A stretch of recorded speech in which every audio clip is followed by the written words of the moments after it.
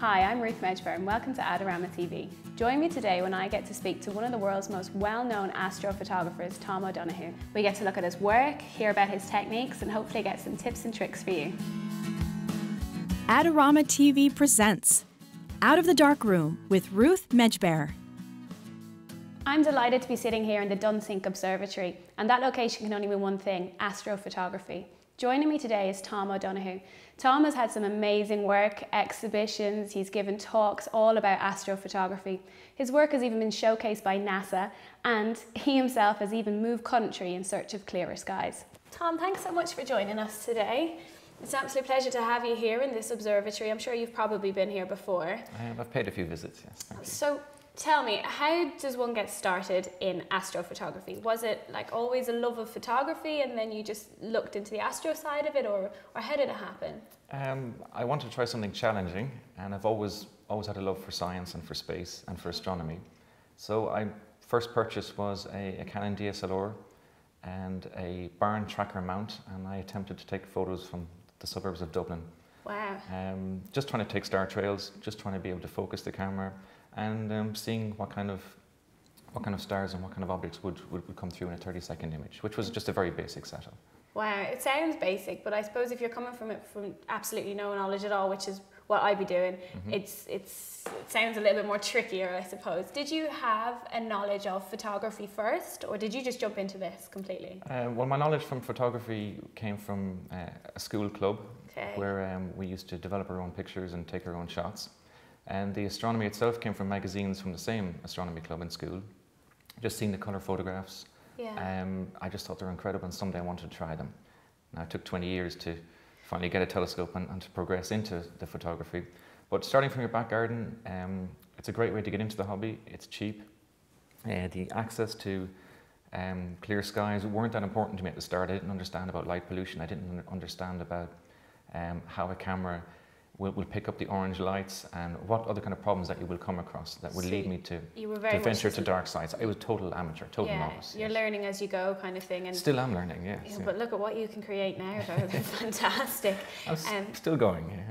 So explain to me a little bit more about astrophotography because I know there's all sorts of different types. Mm. Um, so, so what what could be an example of them? You do lots of different things from star trails, which look very different than your your the nebula and everything else that you do. So, Explain to me what the types are, if you don't mind. Yeah, well, astrophotography is such a broad subject. Mm. Um, I mean, astro really means star. So um, we, as astrophotographers, do include items like the moon, the planets, aurora, um, things like moon dogs, moon bows, iridium flares. There, there's a, a, huge list of things. Wow. A lot of them are, are phenom weather phenomena. A lot of them are atmospheric phenomenon. Um, but really, astrophotography, the simplest ways are uh, wide field star shots like constellations, you okay. can zoom in and do deep sky photography, like what I, what I do myself. Yeah. You have the moon, the planets, and solar photography, okay. which is another section with different type of setup. And, um, and then you have kind of high focal length deep sky photography, wow. which is, um, well, just the equipment um, constraints are enormous at that stage. I'd imagine. So it's kind of the deeper you go, the more you see, but obviously the more expensive it gets as well. Yes, exactly, yeah. Okay, so bring us back then to, to the edge of where we are now. And uh, let's let's take me for example. I've never done astrophotography before. Mm. I've wanted to, and there's been there's there's been nights where I've looked up and I can see the stars so clearly. Okay. What am I going to do? Can you tell me how I would set up my DSLR and my kit lens to get that? Okay. Well, the, the simplest start is what we call star trails, whereas where you get a static tripod. Okay. And you'll open your shutter on manual or bulb mode for 30 seconds. Okay. And the focal length the lower the better, but if you live near, near lights, um, you will probably get a little bit of uh, light pollution. But a simplest shot, open your aperture for the 30 seconds, pointing it north, if you're living in the northern hemisphere, towards Polaris, and you'll notice the whole Earth will rotate in that 30 seconds around the North Star. And you'll have your first star trail so you get this fabulous shot where you can still see the landscape in some shots and then you yeah. get the trails. Exactly. I mean, depending on, on how wide open your, your lens is, yeah. sorry, the focal length of, yeah. your lens. But it's always nice, I think, to give a little bit of depth to it with the foreground objects, trees, people, yeah. um, some, some landscape and, and the night sky. Let's take it a step further, okay? Say I've managed to, to, to do all that. So what would be next? How do I compensate then for the for the trails? Because you know when you get shots and they're pinpoint and the stars are gorgeous and you can see everything so clearly. Okay. Talk me through that. Um, so when you see the final shot, you mightn't realise what all the equipment that will go into um, some shots where the stars remain pinpoint. Okay. Most of, of the higher end, the, the deep sky shots are taken on motorised mounts. So the idea is to counteract the rotation of, of the Earth. Okay. So as you notice, the stars, the moons will, will come up in the east and will move across to the west. yeah. So your mount will counteract that and will, will drive against the rotation to keep everything in a static position. Okay. And So that's a the next motorized step. mount. A motorized mount. yeah. Now, they, they, can, they come in basic forms. Um, there's a lot of um, astro- astronomy shops are now bringing out versions for DSLRs, for uh, Manfrotto type um, Yeah. tripods, which will attach on just like your regular camera head Okay. and will effectively act as a wedge to elevate your whole tripod axis to whatever latitude you're on. So here, here in, in Dunsink, we're at about 53 degrees. Okay. You will attach this, this wedge drive. It will elevate the, the mount to 53 degrees, and you're then only on one axis. Okay. So you can then use a simplified mount to drive across the sky on- once you've selected your target. And that will allow you to do, um, with the cable release, long exposures, capture more objects, and will also then introduce you to the world of stacking and um, uh, signal to noise. Okay, so that's okay. So we've done this. We've we've tracked, say, Mhm. stars, and we want them to be pinpoint. So we've put it on this mount that counteracts and it drives the other way around. Am I getting this right? That's correct. Okay, so now I've got my pictures of the stars. Noise. That's what you're saying because I'm open at a 30 second exposure or however long this is open for. Yeah. Um, surely my camera is going to be quite noisy.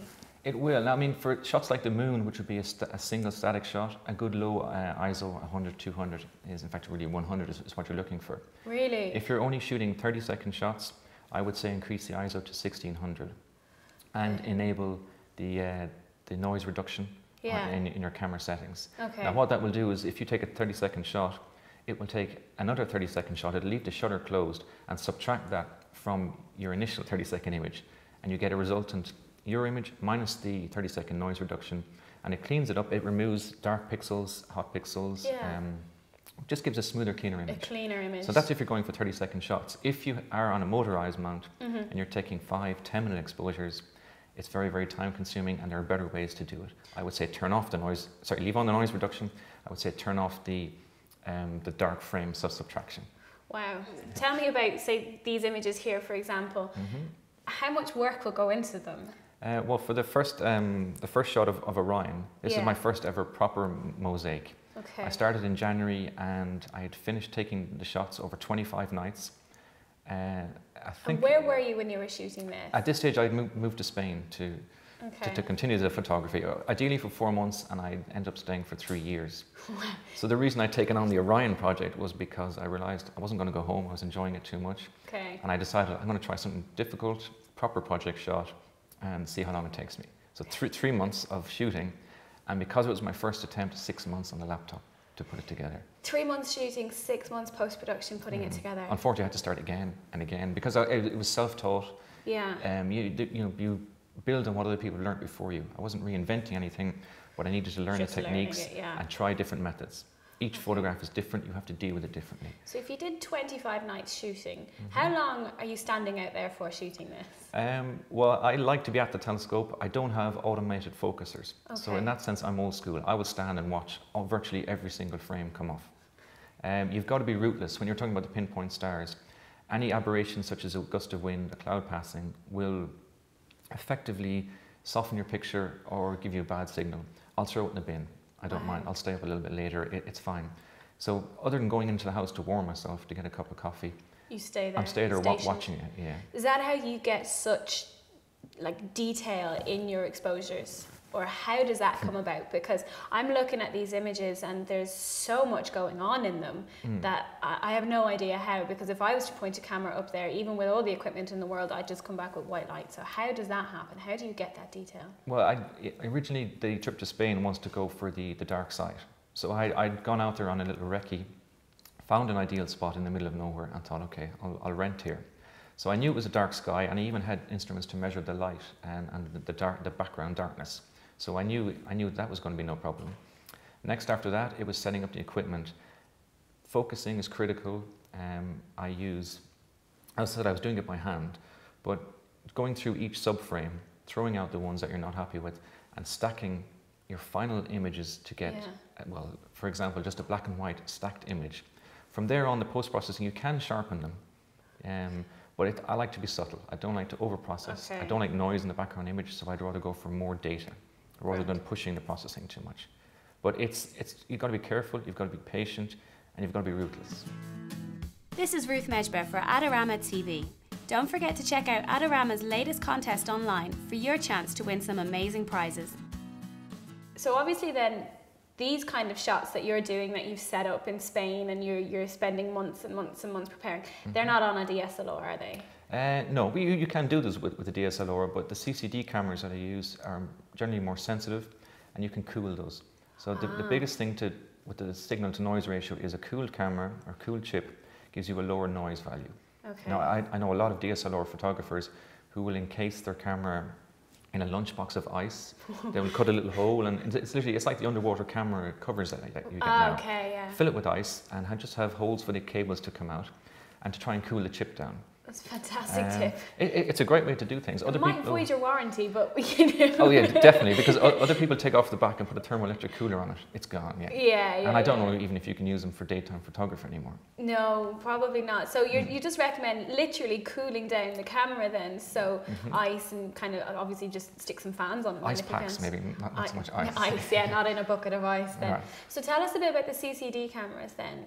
Um, how do they differ from DSLR? Um, CMOS chips are generally what you get in DSLR. Mhm. CCD are the literally the CCD chips.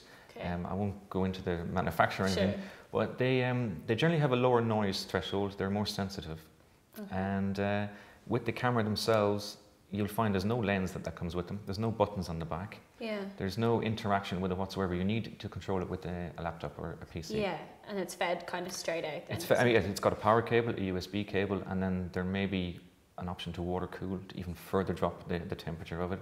But it is just a chunk of electronics and, a- and a chip.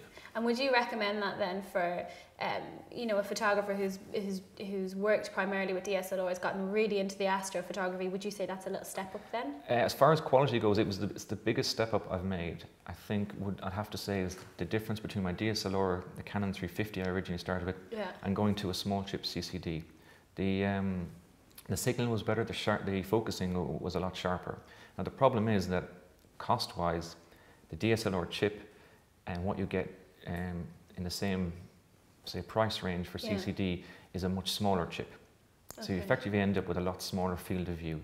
Oh right. So with a 35 mm camera that you might see on any of the full frame Canon or, or Nikons, Yeah. for that price range, you might only get a 7 to 10, 12 mm Wow. Uh, version in, in CCD. Now the prices are they're getting more Mm. more comparable to each other, but that was the original I- issue. You know. Vast yeah. expense for the amount of, as you say, real estate on the chip. But I suppose you're you're attaching it to a scope, so all that's going to come into effect, and you're going to be thinking about all that down the line is. as It, well. It's very, very hard to find an object, even if it's as big as the moon, when you've got a small chip. and Yeah. You're, you're trying to line it up by eye. But I, so I would say the DSLR people have a great advantage with that. Full, Really? full frame, nice wide open sky. So it's. Um, I'd say until you're very happy or you're you're, you're um, kind of well well versed Proficient in and proficient yeah. in your in your processing, I would say then move up to CCD. Um, otherwise, if you're on, on your DSLR, the fact that you can focus it, the fact that you can download the images and process them, it's a fantastic start. Absolutely. So you know, I, even a lot of the CCD cameras, um, I was looking at myself, and there's two different versions. There's color and monochrome. What do you shoot when you're when you're out, you know, photographing Orion in, in you know Spain's backyard? Are you shooting in color or are you doing monochrome? Uh, I shoot in monochrome. okay, and how does that work then? How do you get these such vivid colors? Um, I use a filter wheel in front of the, the monochrome chip. So the filter wheel goes in between the camera and, and the telescope. And you can control it again with a hand paddle, so you can just flick a switch and it'll rotate to the next filter, or you can control it with uh your laptop. And I'll generally shoot through red, green, and blue filters. And there's, there's one or two extra, um, what we call narrowband filters to, to capture some extra chemistry going on in the sky. But it is all red, all green, all blue, and you stack those together to get master red, green, and blue. You stack that to get a full color image.